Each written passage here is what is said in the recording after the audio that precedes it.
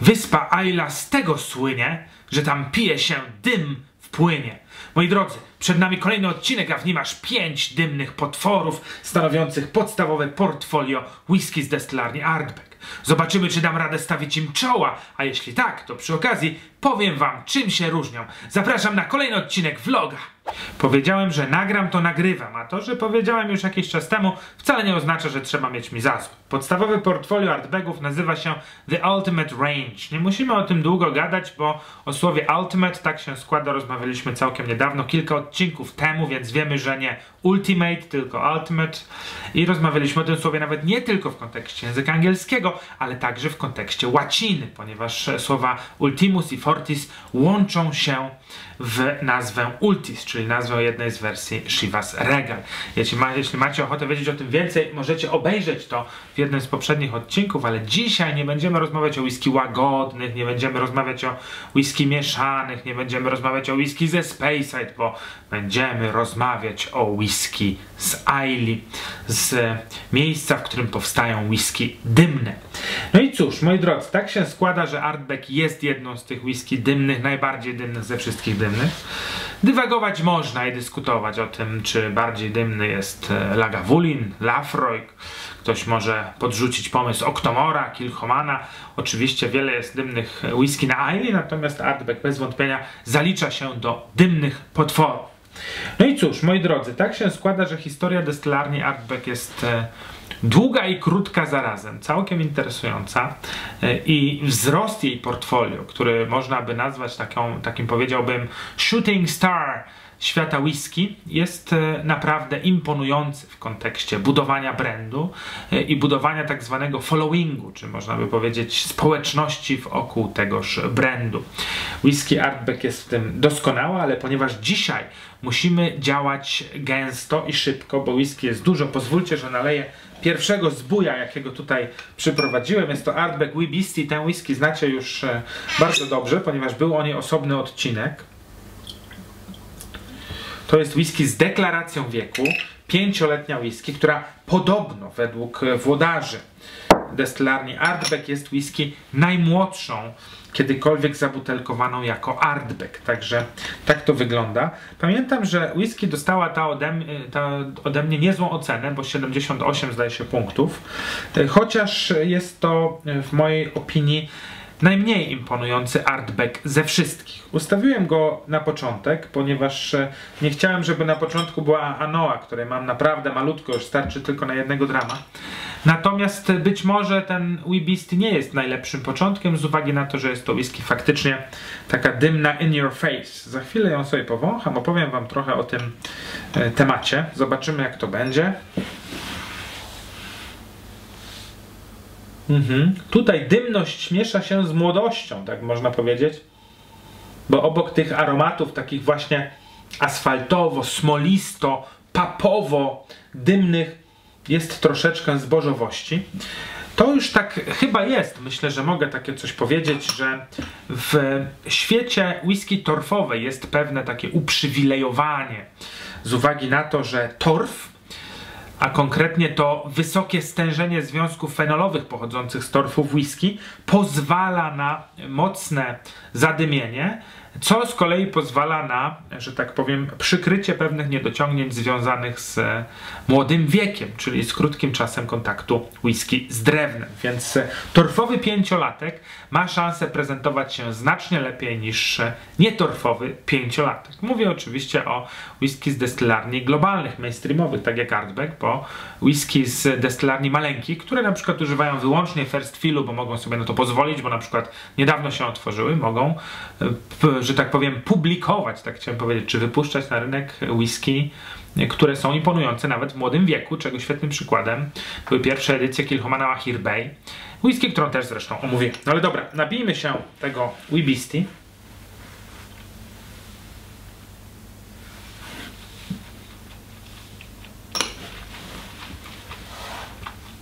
Mhm.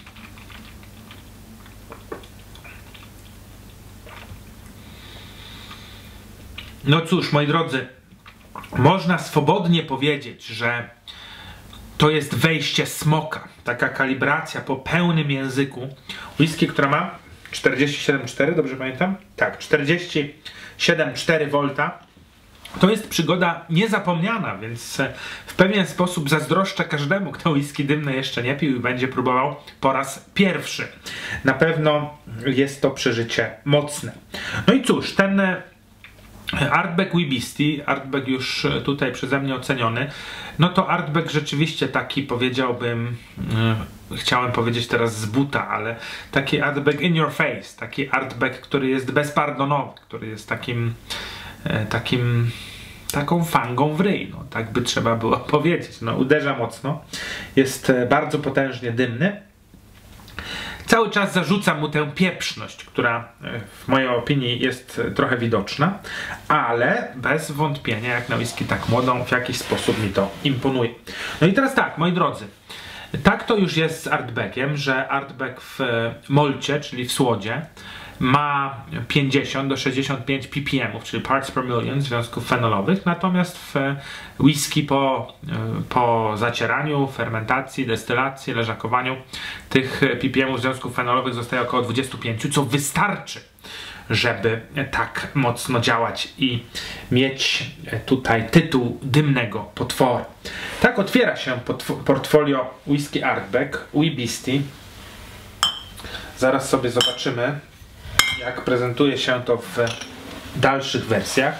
Teraz mam Anoe. Anoe to jest dodatek, do, bo Ardbeg Wibisty jest e, tutaj najmłodszym reprezentantem. Z kolei z Anoą obcujemy od e, roku 2017. Dlaczego tak jest, że to portfolio jest takie wąskie i to portfolio jest też e, oparte o NASY, czyli Whisky Knowledge Statement, bo deklarację wieku ma tylko Wibisty 5-letnią i Artbag Dyszka 10-letni.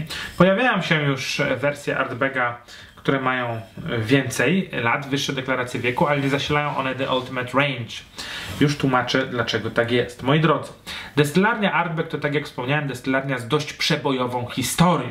Historia ta jest e, historią długą, ale niestety w e, drugiej połowie, a może w końcówce XX wieku pojawiły się takie okresy, które dla destylarni Artbeck przychylne nie były, przez co destylarnia była zamykana. No i tak, e, kiedy w 1997 roku firma Glenmorangie, która później została przejęta przez firmę LVMH, czyli Louis Vuitton Moet Hennessy, e, przejęła destylarnię Artbeck, aby rewitalizować ją i ponownie otworzyć, bo destylarnia była wówczas zamknięta w 98, no to nie miało łatwo, bo pojawiła się wtedy Artback 10-letnia i z uwagi na profil leżakujących beczek pojawiła się też Artback 17-letnia, która była bardzo ceniona przez miłośników whisky słodowej w owym czasie, ale no niestety z uwagi na to, że stok, czyli leżakujące w magazynach beczki nie są z gumy, ten 17-letni Artback nie jest już dostępny. E, oczywiście dycha z nowego rozdania, czyli Artback 10-letni, e, już powstały za kadencji e, Glenmorangie czy LVMH, pojawił się dopiero w 2008 roku. Natomiast Anoa to jest młodziutki dodatek i to jest taki dodatek, który nie jestem pewien, czy to jest coś, co wszyscy chcieliby, wszyscy by chcieli, żebym mówił, ale no powiem, co ja myślę o tej whisky. Znaczy, nie, że myślę coś złego, absolutnie. Natomiast e, Anoa, tak jak widzicie, mam już samą końcóweczkę niestety. To jest e, whisky, która e, czerpie swoją nazwę z przylądka znajdującego się nieopodal krzyża Kildalton na Ailey. I to jest whisky, która jest efektem mariażu czy kupażu whisky z beczek ze świeżego dębu, z, dębu po bourbonie i z dębu po sherry. Innymi słowy jest to whisky z beczek, które są dostępne, takie można by powiedzieć trochę odpowiednik dla Freuga Select, który też ma e, za sobą wiele, wiele rodzajów drewna. To jest taka whisky, którą trzeba by określić jako taki wentyl bezpieczeństwa w portfolio, ponieważ e, zarówno knowledge statement, e, jak i zadeklarowane otwarcie różne rodzaje drewna sprawiają, że można ją zrobić na dziesiątki, setki sposobów i whisky ta może po prostu być takim, powiedziałbym, balanserem portfolio. To znaczy, że jeśli jakiś beczek albo jakiegoś typu destylatu jest za mało albo za dużo, to właśnie anoa może służyć do tego, aby go wypoziomować. To takie zagadnienie, ono nazywa się stock management. Dla każdej destylarni to zarządzanie leżakującymi beczkami jest niezwykle ważne, bo destylarnie muszą działać z ogromnym wyprzedzeniem. Jeśli chce się butelkować nawet whisky dziesięcioletnią, to o tym, co butelkujemy w 2021 roku, trzeba było myśleć w roku 2011. Także e, tak to należy rozumieć. I to właśnie w tym portfolio w mojej ocenie robi Artback Anoa. Natomiast Artback Anoa jest także reklamowany jako whisky, która po leżakowaniu w tych wszystkich różnych rodzajach drewna jest e, przelewana do takiej powiedziałbym, do takiego mariażu w dużej kadzi, gdzie wszystkie te alkohole się przegryzają. Także tak to wygląda. Zobaczmy sobie, jak ta Anoa wypada na tle Wibisty. Mhm. Jest to whisky przyjemnie dymna. Nie tak dymna in your face jak Wibisty. Nie ma tutaj takiej, powiedziałbym, bezpardonowej smolistości, asfaltowości. Myślę, że nie trzeba być tutaj żadnym doświadczonym miłośnikiem whisky, aby odróżnić e, Anoe od Wibisty.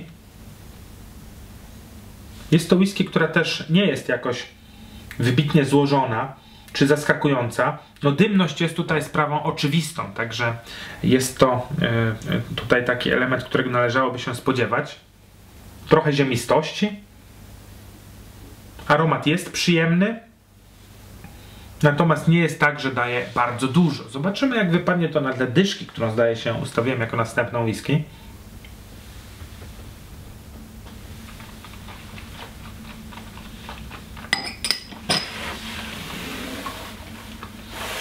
Hmm.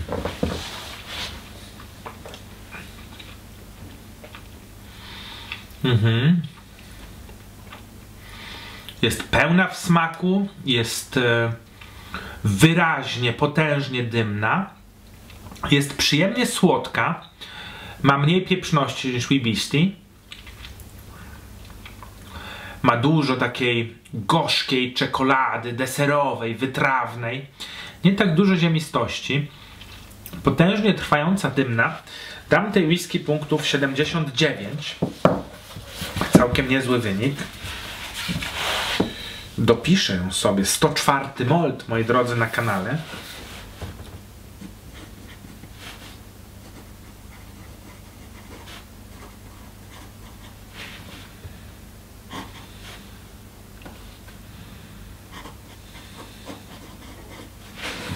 Mhm w porządku. No dobrze, moi drodzy, na razie idzie mi nieźle. Z dymnymi whisky jest tak, że ich smaki są tak potężne, że trzymają się tego języka. Trzeba im pozwolić, aby miały okazję chwilę wybrzmieć na tym języku. Więc pozwólcie, że opowiem Wam trochę o moim ubraniu. Jak wiecie, zawsze staram się ubierać stosownie do sytuacji, bo to jest e, naczelna zasada klasycznej męskiej elegancji. Jak wiecie, zawsze ubieram się tylko w jednej firmie, a firmą to oczywiście jest e, Miller Menswear, którą z wielką radością i zapałem reklamuję. Również dlatego, że firma ta należy do mnie. W każdym razie, moi drodzy, Mam dzisiaj na sobie koszulę Miller Menswear w kratę, która nazywa się Tattersall. Krata Tattersall to jest krata, na której nakładają się dwie różne kraty. I mam też kamizelkę z Harry's Tweedu, która również jest w krat. Nie wszyscy wiedzą, że różne kraty można ze sobą łączyć pod warunkiem, że raport kraty, czyli wielkość oka tej kraty różni się na różnych elementach. I do tego wszystkiego założyłem bordowy krawat w Chciałem powiedzieć w rozpędzone zające, bo w grupie Klika Dzika mamy karawat w rozpędzone odyńce, ale kiedy przyglądam się tym zającom, to one no ponad wszelką wątpliwość nie są rozpędzone, bo siedzą. Także siedzące zające ma krawat, moi drodzy, ale pomyślałem sobie, że odrobina bordo jest potrzebna do tego, aby zbalansować ten oto brąz, tak jak Artbeck, Artbeck Anoa balansuje całe portfolio tejże whisky. No dobrze, moi drodzy, więc e, mamy dwa Artbegi za sobą. Przyjrzyjmy się teraz e, Artbegowi w wersji dziesięcioletniej, czyli takiemu fundamentowi portfolio, który najprawdopodobniej większość miłośników whisky już zna. Myślę, że to jest taka, powiedziałbym, klasyka gatunku. Myślę, że to jest e, taka whisky, której żaden miłośnik whisky, który gdzieś tam już zapuszcza się w te obszary dymne, nie powinien przegapić. Tak samo jak e, whisky Lagavulin, jak whisky Lafroig, jak whisky Kalila, jak whisky Bowmore. To myślę, że są takie whisky, które po prostu trzeba znać.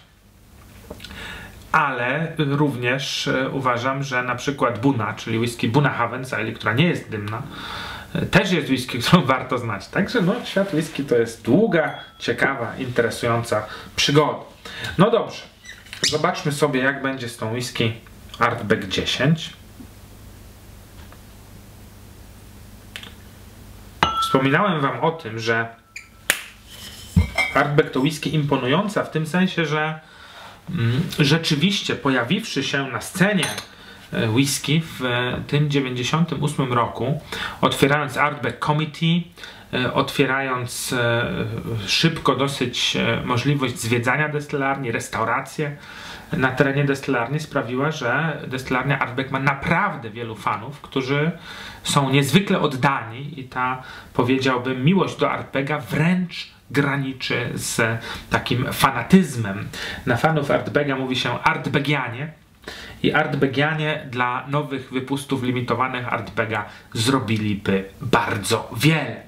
Mogę od razu powiedzieć, że prawdopodobnie taki limitowany wypust Artbacka pojawi się już niedługo na moim kanale, więc jeśli tylko macie ochotę wiedzieć więcej i więcej i jeszcze więcej o destylarni Artback, zachęcam Was do tego, aby pod wideo wcisnąć przycisk subskrybuj, także dzwoneczek po to, aby nie przegapić kolejnych odcinków, tak jak zrobiło już ponad 190 tysięcy osób, które lubią whisky, styl życia współczesnego mężczyzny. Zawrotna liczba, dzięki za to. No dobrze, moi drodzy, pozwólcie mi na łyczka wody jeszcze.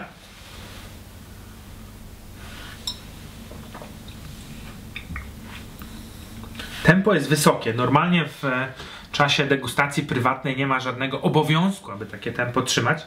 Natomiast no, mi zależy, aby tutaj do tej whisky w czasie możliwie powiedziałbym skondensowanym, czy takim gęsto wypełnionym treścią podchodzić do tych artbagów, co łatwe nie jest z uwagi na ich intensywność smaku. No dobrze, ale zobaczmy sobie artbaga dyszkę. Moi drodzy, on jest butelkowany w mocy 46%. Więc nie jest to moc zawrotna, zobaczymy. Mhm.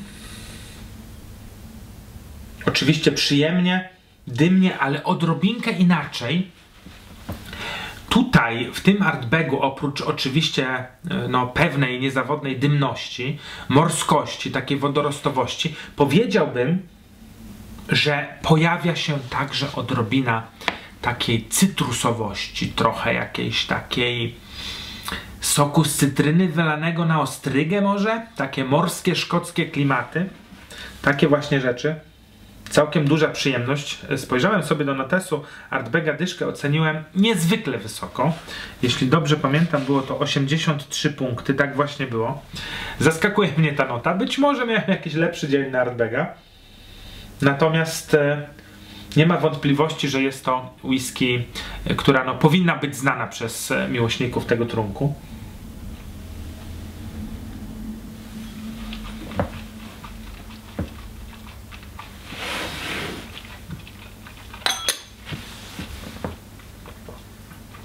Mhm.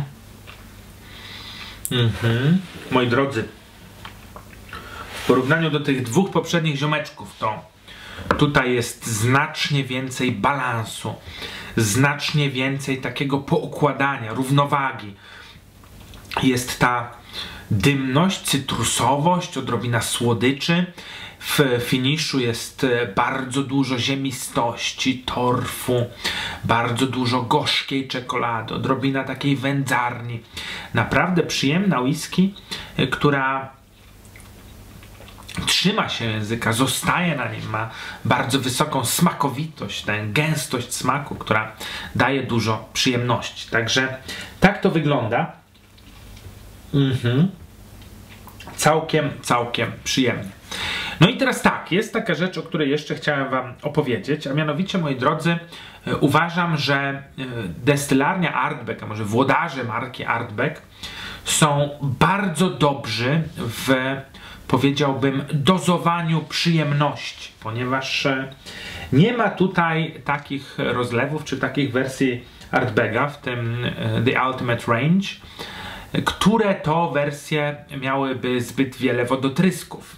Jeśli coś ma deklarację wieku, to jest na przykład rozcieńczone. Jeśli coś jest w wysokich rejestrach alkoholowych, to jest z kolei bez deklaracji wieku. Na przykład e, będziemy teraz e, mieli okazję spotkać się z Artbegiem Ugadaj, który swoją nazwę czerpie z nazwy jeziora, z którego to Artbeg ma, oj uwaga, mam tutaj trochę niedopolerowaną flaszkę. Jeśli tylko pozwolicie, wszystko się musi zgadzać tutaj. O, już jest dobrze. E, które z nazwy jeziora, z którego Artbeck czerpie wodę, czy z nazwy Loch, z którego Loch Ugadaj, z którego Artbeck czerpie wodę, do produkcji whisky.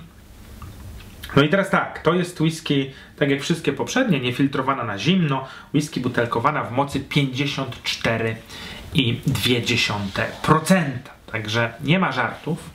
Jest to whisky e, mocna, jest to whisky, nie jest ona deklarowana jako whisky w mocy beczki, e, ale no nie ma wątpliwości, że ten rejestr 50 plus to już jest e, właśnie rejestr mocy beczki. Także nawet jeśli nie jest ona konkretnie w mocy tutaj beczek, z których ją kuparzowano, no to na pewno jest mocna i ta gęstość smaku, intensywność smaku, docieranie smaku do kubków smakowych będzie wysokie. No i co jest bardzo ważne, to to jest whisky, która stworzona została po to, aby łączyć potężną dymność ze słodyczą, czyli koncepcja w pewien sposób zbliżona do koncepcji whisky Lagavulin. Myślę, że koncepcja bardzo trafiona. Koncepcja, która może podobać się wielu miłośnikom whisky, bo powiedziałbym, że dym daje ten dreszcz emocji. Dym sprawia, że wielu mężczyzn, którzy nie tylko mężczyzn, miłośników whisky, kobiet także, którzy piją whisky dymną może się poczuć tak wyjątkowo. Ja to to piłem, a ty to to piłeś, może nie piłeś jeszcze, ale ja to to to to to to, to piłem. Ja wiem jak to jest, ja to lubię, jak mi dymi i wykręca język. Natomiast Arbek Ugadaj oferuje właśnie tę dymność, ale dymność tę łączy ze słodyczą z sherry.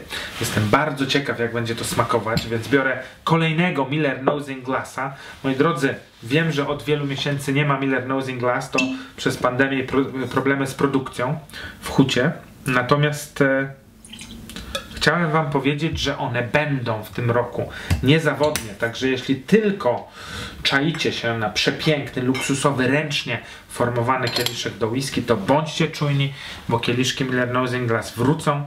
To kieliszki o niezwykle lekkiej, dynamicznej, przyjemnej dla oka formie, o wspaniałych proporcjach, formowane ręcznie, przez co każdy jest nieco inny, z bardzo trudną do uformowania ręcznie przykrywką, która mieści się w otwarciu kieliszka. Także coś naprawdę, naprawdę pięknego i sprawiającego wiele radości każdemu whisky aficionado.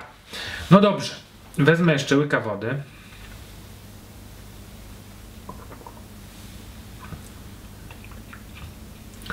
I zobaczmy, co w trawie piszczy z Artbegiem. Ugadaj. Mhm. Jest od razu, moi drodzy.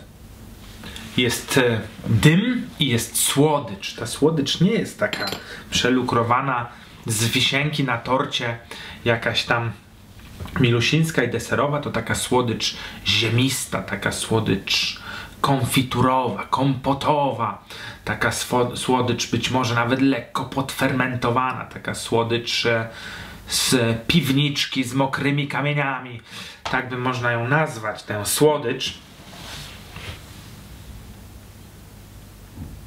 I do tego dym, dym i dym. Duża przyjemność i muszę powiedzieć, że aż się, tutaj chciałem powiedzieć, e, aż się trzęsę z radości, no bez przesady nie trzęsę się, ale czekam na to, bo spotkanie z whisky, która miała kontakt z drewnem poszery, które to drewno poszery jest e, w jasny sposób manifestowane w tej whisky e, i do tego jeszcze jest to whisky dymna i do tego jeszcze butelkowana w wysokim stężeniu alkoholu, to dla każdego miłośnika whisky duża nie wiem, czy radość przed piciem, tak można powiedzieć, ale na pewno duża gratka. Zobaczmy, jak będzie na języku.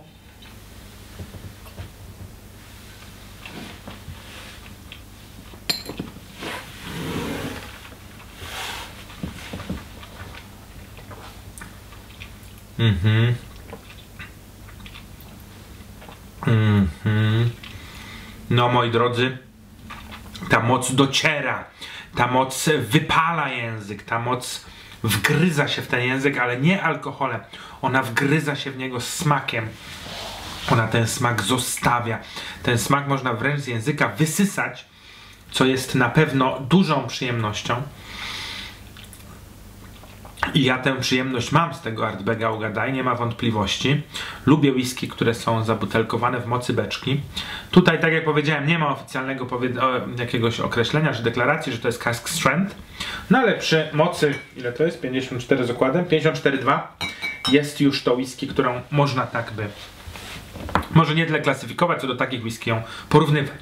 W każdym razie, moi drodzy, chciałem e, powiedzieć Wam tylko, że na kanale jest także dostępny odcinek o whisky w kasku, czyli o whisky w mocy beczki, który obejrzeć możecie tutaj. I wydaje mi się, że jeśli ktoś z Was jest osobą, która nie wie o czym mówię, kiedy mówię o whisky w mocy beczki albo cask strength, czyli o whisky w kasku, to jest to odcinek, który warto obejrzeć. Jest to odcinek teoretyczny, podający wiedzę związaną z e, whisky w mocy beczki. Wiele ciekawostek, więc e, zachęcam Was do tego, abyście odcinek ten sobie obejrzeli. No dobrze, to 105 molcik.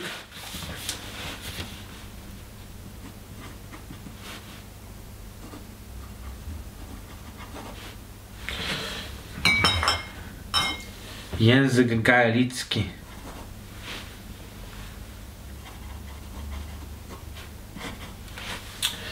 I co ja mogę temu Ugadailowi dać? No, ja trochę mam taką słabość do słodyczy. To dam mu...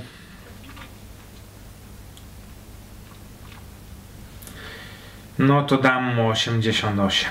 Dużo. Dużo, ale ze spotkania z tą whisky miałem przyjemność. No dobrze, no to teraz moi drodzy nie wiem, czy mogę tak powiedzieć, grą final. Grą final, nie grą final. Teraz y, Ugadaj w ogóle wszedł do portfolio Artbega w 2003 roku, a Cory Wrehen to whisky, która weszła w 2009. E, po drodze było jeszcze dużo whisky, był, y, był Very Young, Still Young, Almost There, był Blazda, Supernova, Alligator, Galileo, Roller Coaster, no było ich naprawdę dużo.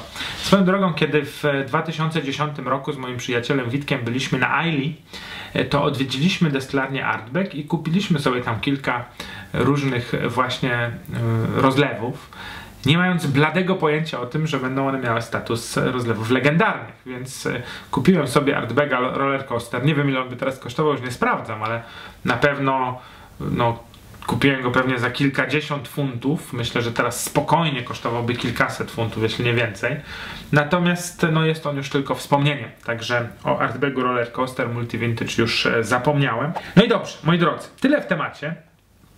Ruszam do ostatniego Artbega, Artbega Cory Wrehen, który swoją nazwę czerpie od e, wzburzonych wód właśnie Cory Wrehen na północ od Ailey Jury.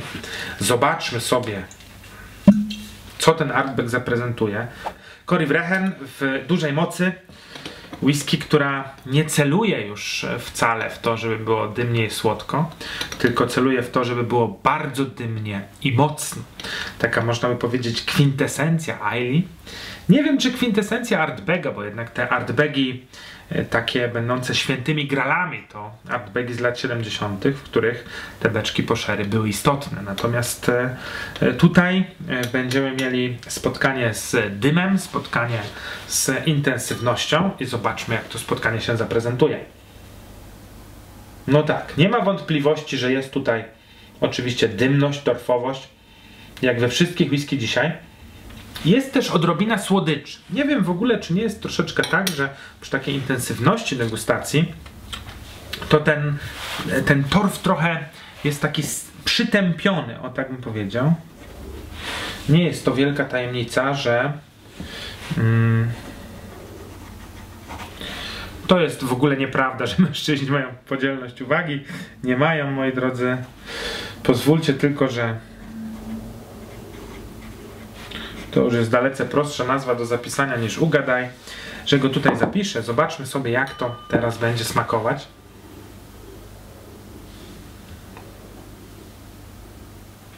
Trochę wychodzi takiej kremowości, to jest bardzo przyjemne.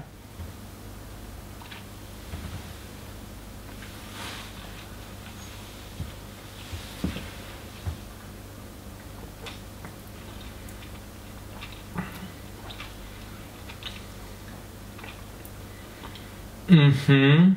Moi drodzy, to jest to, co tygryski lubią. O ile Wibisty wchodził z buta, ale brakowało mu tej równowagi, brakowało mu tego balansu. Wchodził z buta dymem, ale gdzieś tam trochę zbożował, trochę pieprzował i tak dalej. To Cory Wrecken wchodzi z buta, wchodzi z buta na wysokim prądzie. Ja już naprawdę mówię slangiem whisky. Wchodzi z buta na prądzie 57%. I to 57%, oprócz tego, że oczywiście klepie, więc trzeba uważać, daje tę intensywność, zostaje na języku. Ta whisky zwęgla język, ale ta whisky zwęgla język w połączeniu ze słodyczą, w połączeniu z olbrzymią intensywnością dymu i w połączeniu z bardzo przyjemnym i długim wygasaniem. Więc e, muszę powiedzieć, że było to doświadczenie bardzo miłe. E, I miałem tutaj dużą radochę z poddania degustacji tych pięciu artbagów, ciesząc się także z tego, że po raz kolejny wywiązałem się ze złożonej wam obietnicy. Moi drodzy, szczerze mówiąc, to tak przed tą degustacją myślałem sobie, że moim liderem dzisiaj zostanie Ugadaj, bo ja te klimaty szerowe lubię, ale ten Cory Wrecken tak mnie e, tutaj, że tak powiem, połaskotał tą dymnością, chociaż nie wiem, czy połaskotał to dobre słowo, że raczej podrapał, że, że dam mu punkcik więcej, 89 na 100. Świetny wynik Artbega Cory Wrecken. Także tak właśnie to wygląda. Kolejne spotkanie za nami. Mam nadzieję, że spotkanie dla Was przyjemne i interesujące. Jeśli tak było, koniecznie napiszcie mi o tym w komentarzach pod wideo, a jeśli już tam będziecie, pamiętajcie o tym, że znajdziecie pod nim także przycisk subskrybuj dzwoneczek, które sprawią, że nie przegapicie kolejnych odcinków, które, jak już mówiłem, na moim kanale pojawiają się regularnie. Pamiętajcie także, że jestem aktywny na Insta, na TikToku, na Fejsie, a kiedy będziecie już na Fejsie, znajdźcie koniecznie grupę Klika Dzika, gdzie dzikie sarenki codziennie dyskutują na temat studia współczesnego mężczyzny. Tymczasem, moi drodzy, żegnam się z Wami klasycznie. WDIDZ, czyli wielkie dzięki i do zobaczenia!